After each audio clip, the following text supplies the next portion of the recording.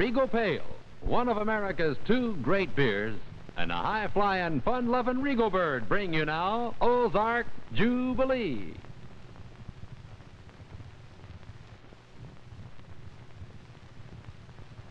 Again, friends, with a big Saturday night hello from the crossroads of country music. It's time for the Ozark Jubilee, starring America's favorite country gentleman, Red Foley.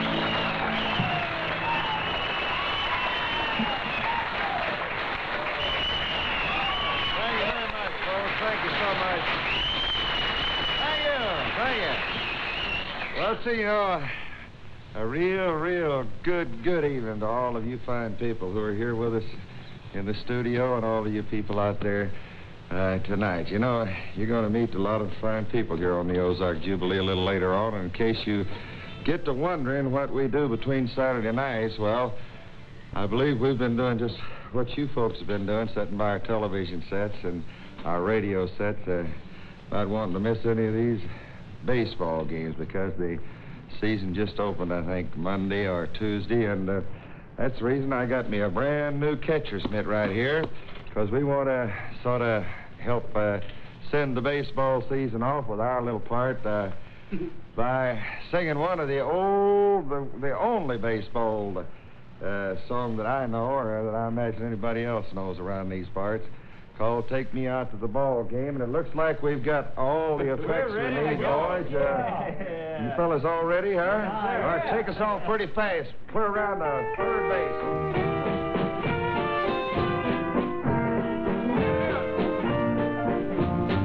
Take me out to the ball game. Take me out with the crowd.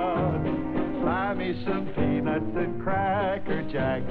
I don't care if I never come back root, root for the home team.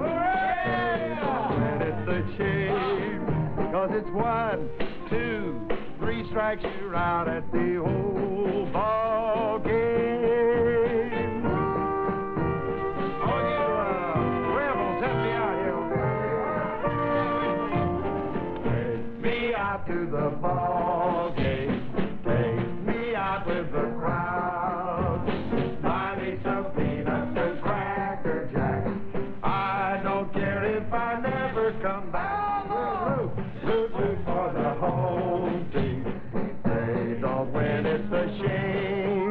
Cause it's one, two, three strikes, you're out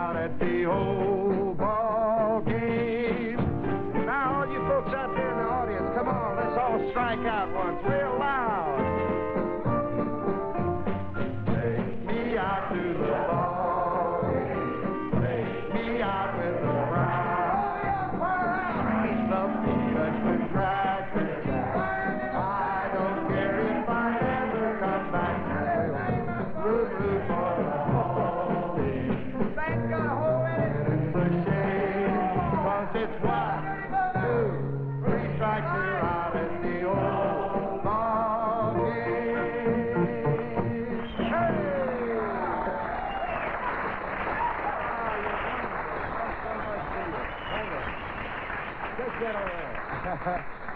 well, sir, I guess, uh, bless your hearts, and I'll applaud for you. I think you're wonderful. I guess we've done all the damage that we can do to the baseball season for the time being, the old national pastime. So right now, we'd like to bring out a team of about nine people here, not baseball players, but really on the ball when it comes to square dancing. The Lake of the Ozark Bullfrog. Here we go.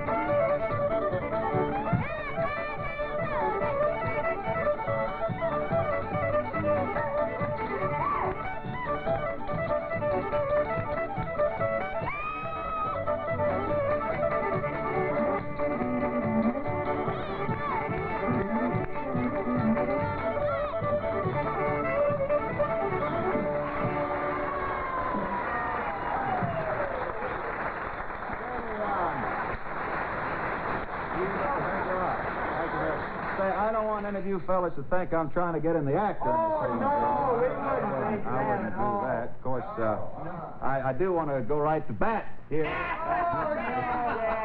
Well, anyway, I want to tell you folks that we're going to pick up right where we're leaving off in country music fun in just a moment. Howdy, folks. I'm Jim Nars. Uh, what's left of me. Told them yesterday I'd be happy to pay my taxes with a smile, but they wanted money. But I had enough left over to buy this happy hamper of Regal Pale Beer. And if you've so much as a jingle in your jeans, so can you. Now, you see, you not only get, well, as I say here, this is the big four for economy. Now, these four 16 ounce cans give you not only a third more beer than the regular can, you not only get a four full half quart can, and you not only get more fun, flavor, and regal, but friends, you get a real savings in hard, cool cash. Incidentally, you and the deduction can split one can into two full glasses. So you just cheer up, folks. You can still afford to enjoy Regal Pale, one of America's two great beers.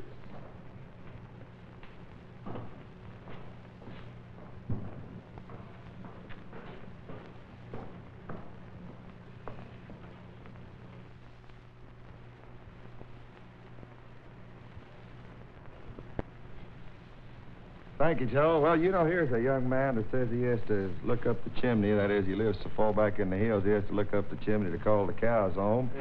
Porter Wagoner. Porter, come here. Howdy. Uh, I tell you, uh, I imagine you'd like to plug your latest record tonight, wouldn't you? Well, yes, I would, Red. What's the I name have of a, it, huh? I have a real brand new one called A Satisfied Mind. I recorded Uh, that, too. That's what I hear you did. By the way, I wonder could we work out something here, you and me? Why don't we just both sing a duet on it? huh? Just well, uh, hey, say? there's there's a Jean little Shepard? gal that recorded this too, Red. How about Jeannie that? Shepard. Well, I tell Jeannie. you, folks, this I is just sort of a... when y'all can give me. Stand right here. This is sort of a slick way that we had to plug in our record. All three of us have a record of the same tune. And uh, in order to get it all in, we thought, well, maybe it'd be a nice idea if we just sang a trio on it. Here it is, Porter Wagoner, Jeannie Shepard, myself, and Satisfied Mind, huh?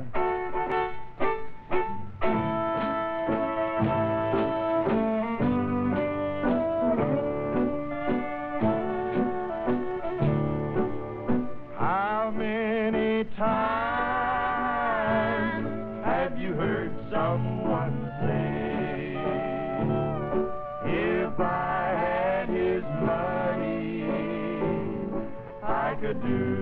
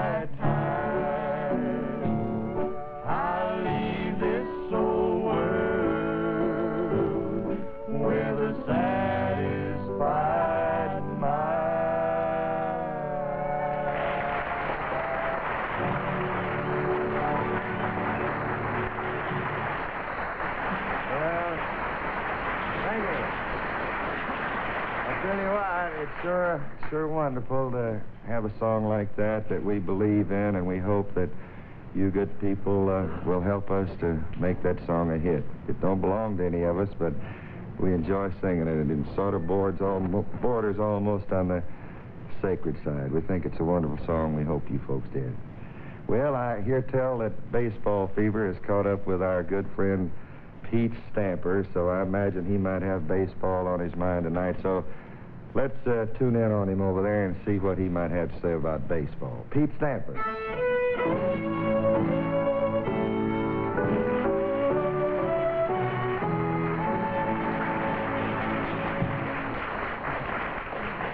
Well, if uh, you've been watching television the last week or two, you can't help from having the baseball fever. Uh, somebody today asked me who uh, was my favorite team, and uh, well, I ain't got one. In fact, last year was the first time I ever took any interest in, in baseball at all. I was invited up to Louisville, up there where they was throwing a sh- shindig for uh, uh, uh, Pee Wee Reese, and they invited me up there to be a after dinner speaker. Uh, well, it was after after supper speaker is what I turned out to be. Uh, although my invitation said be there at dinner, but I couldn't get a bus to get there at that time of day. But uh, but I, not until I got there did I find out that they wanted me to give a talk on how and why young folks get interested in baseball out in the country. And, uh, and I didn't know. Uh, of course, there was a uh, there was there was a fellow there by the name of Lefty Gomez, and he was he's already retired. And I figured, well, if I strike up a conversation with him and kind of chew the rag around there a little while, uh, maybe I'll learn enough that they won't know that I don't know what I'm talking about, whether I do or not. And we got to talking there, and well, he lost me on the first curve, and uh, uh, he's just just a hard man to you know, talking like that. He'd mention curves every once in a while and getting to first base and Joe DiMaggio and everything. And we talked there for 30 minutes, and then I didn't learn uh, but one thing, and that's uh, how long two fellers can talk, one about baseball and the other about Marilyn Monroe, and neither one knows the difference.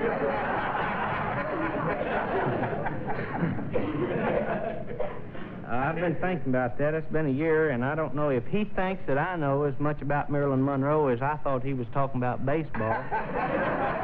uh, he's got a bad opinion of me. But I told him about a little thing that happened down home uh, that, uh, well, it was interest to me anyway. I was going down the road one evening. It was just dusky dark, and there was a bunch of fellers, anywhere from 10 to 14 years old, playing uh, baseball out there in the field, and everything was quiet. It was kind of lull in the game, and I just stopped and looked the situation over, and you could tell that all of them was kind of dreaming, you know, kind of big lead. There, there was the the, the the, the pitcher, he was out there tromping around, poor pitcher's tromp, and the, the batter was up there, and they, they was all dreaming of, of big league baseball right at that one minute. And there was one little bitty feller out in the field, though. Uh, he was the only fielder that particular team had, and uh, he hadn't grown up to the point that he thought of big time yet. And uh, just as I got up even with the road, I heard him holler, Frank! He said, Frank! Of course, he made him, he made sure that he, they knew that he meant it. Of course, I can't do that here on television, but he, he said, uh, he said, Frank, said, if you're fixing to throw that ball, throw it. Said, the Skeeters have already eat second base, and they're looking at me. and, uh, and he was serious about it, too. He, I, I don't know uh, about down home, about where y'all live, but baseball didn't too much have a change down where I'm from. 'cause you'd think out there in the country, well, we did, we we had to play in a cow pasture, and uh, we didn't have real bats or balls or or gloves. we didn't have real basties either. I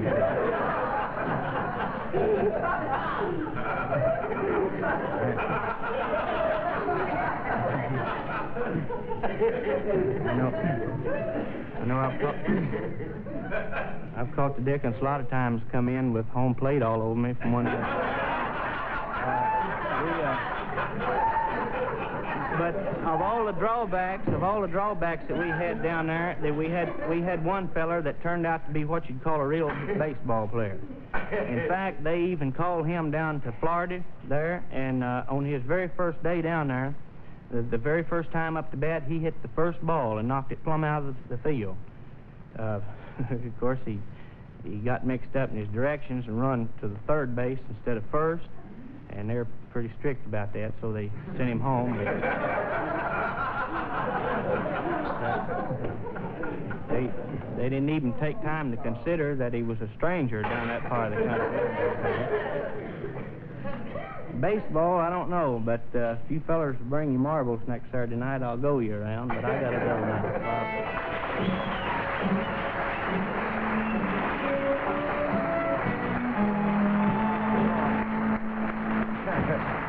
That boy, I'll tell you, I...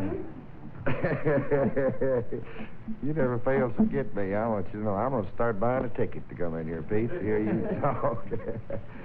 Folks, we'd like to remind you that uh, tomorrow our bunch of the Ozark Jubilee, that is a big portion of them, are going to be over here at Mexico, Missouri for a big celebration tomorrow afternoon or tomorrow night. And we'd like for all you folks over there to come out and visit with us. Be glad to see you.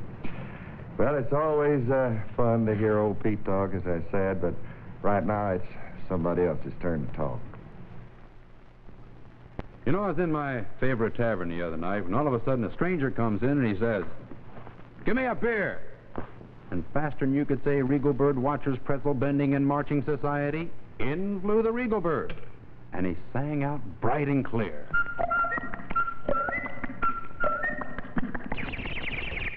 Well, sir, that stranger turned to me and he says, You know, it sounds like that bird said drink Regal. I said, Well, why don't you try it? So, uh, he did. And you know, he hadn't taken more than a couple of swallows and turned to me with tears in his eyes. And I said, Well, what's the matter? And he said, What to think? All these years I've been saying, Give me a beer. When I could have been saying, Give me a regal. Folks, let that be a lesson to you. Heed the regal bird and always ask for frisky, frolicky Regal Pale, one of America's two great beers.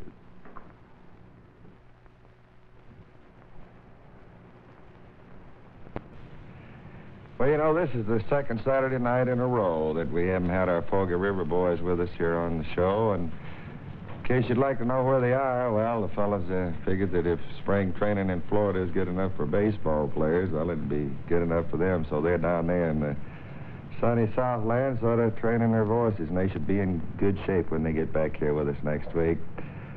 Uh, incidentally, uh, they're in Tampa tonight for the benefit of you folks with a big all-night sing down there. So if you want to go out and visit with them, I do that.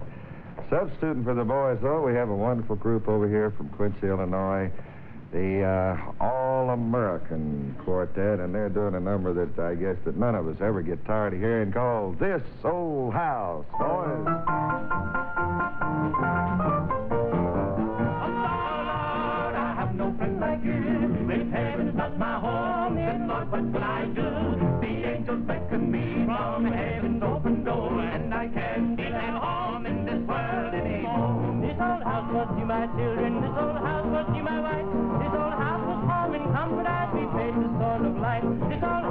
Was faithful this old house had many tops. Now it trembles in the darkness and the lightness won't fall. Ain't gonna need this house no longer, ain't gonna need this house no more. Ain't got time to fix your shingles, ain't got time to fix the floor, ain't got time nor the hinges nor the windows no pane. Ain't gonna need this house no longer, I'm getting ready to beat the stain. This old house is getting shaky, this old house is getting old. This old house that's in the rain, this old house that's in the cold. Oh, his feet are getting chilly, but he feels up to the pain. God, he feels an angel beating through broken window pane. Ain't gonna need this house no longer, ain't gonna need this house no more. Ain't got time to fix the shingles, ain't got time to fix the floor, ain't got time nor the engine nor the window window pane. Ain't gonna need this house no longer, I'm getting ready to meet the same. This old house is afraid of thunder, this old house is afraid of thunder, this old house is burning ten times the light when the wind is on. This old house is getting feeble, this old house is needing paint. Just like me, it took it out, but I'm getting ready to meet the same. Ain't gonna need this house no longer, ain't gonna need this house no more. Ain't got time to fix the shingles, ain't got time to fix the floor, ain't got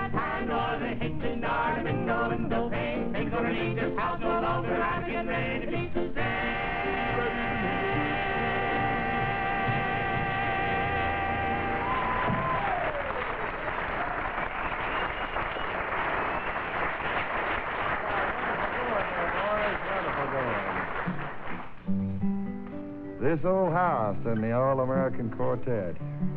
Well, we'd like to call Miss Jeannie Shepard back in here once more. Uh, Jeannie, you get up here on the little box, will you? Yeah, I'll stand right here. Uh, you know, we made Jeannie a trio a while ago, and uh, if you don't mind, I'd not like to make you a duet now, Jeannie. Okay. And a little later on, if the folks will stay tuned, they're going to get to hear you sing all by your little self. Okay. We did a tune here with uh, Miss Kitty Wells called As Long As I Live. And, uh, Jeannie, I would appreciate it very much. It is pretty high now, Jeannie, so pretty you're high, going to have to yeah, rear y'all back and let it out. in my neck. Here we go, fellas.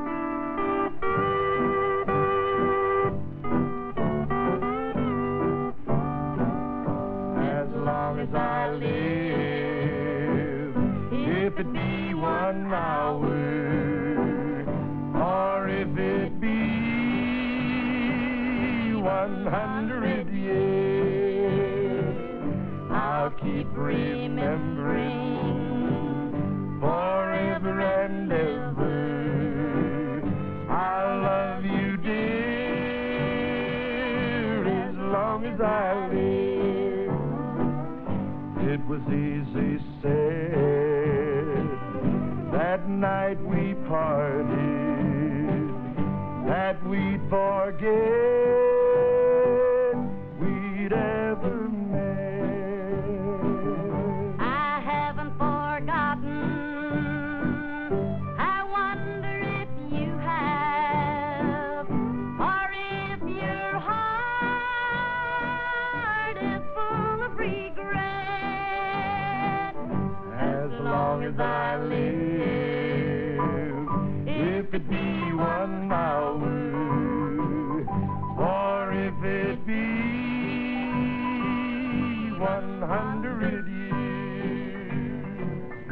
I'll keep remembering forever and ever.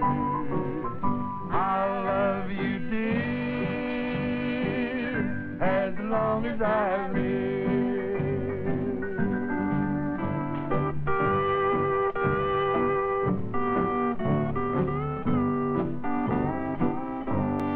I never thought that night that life without you would be this bad.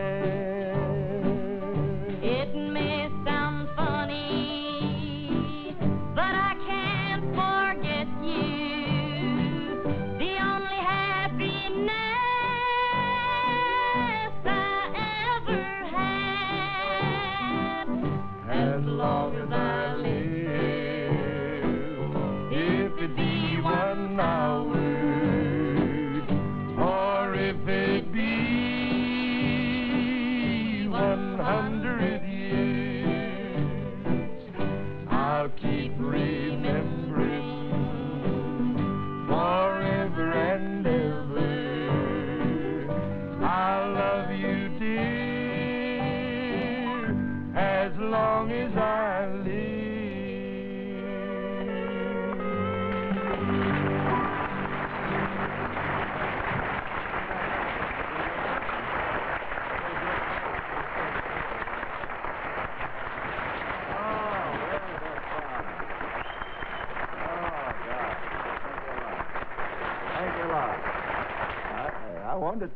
I can't say any people's applauding here. Oh, I agree with them now. I agree with them. Boy, that was wonderful. Jean and Red, thank you an awful lot. That's a wonderful number and certainly very wonderfully done.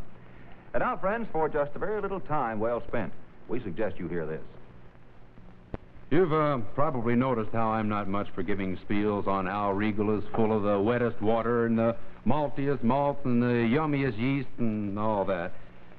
Of course it is, but uh, I figure the thing you want to know about a beer is how it tastes. So, uh, looking under G for good, I'd say that Regal tastes gay, galloping, galumphous, giddy, gladsome, glamorous, gleeful, glittering, glorious, glowing, gorgeous, gracious, grand, gratifying, gurgly, groovy, ginger peachy, and gosh awful great. There. Now do you know how Regal tastes? Of course you don't. Like I've been saying all along, the only way for you to find out is to stop in at your tavern or store, pour yourself a glassful, and let it go bubbling down your own personal throat. You do that real soon. Real, real soon, and you'll find out why Regal Pale is one of America's two great beers.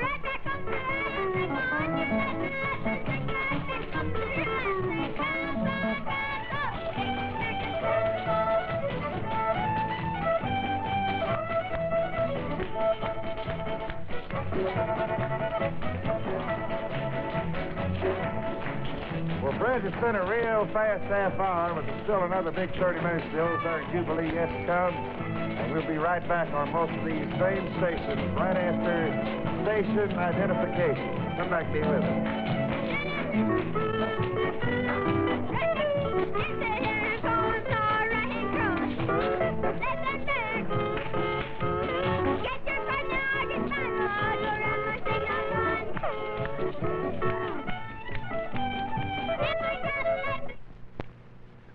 Regal Pale, one of America's two great beers, invites you to join us next week for Ozark Jubilee. And meanwhile, here's the Regal Bird's thought for the week. When you're worried, don't chew your fingernails. Chew Regal Pale instead. It's lots more fun.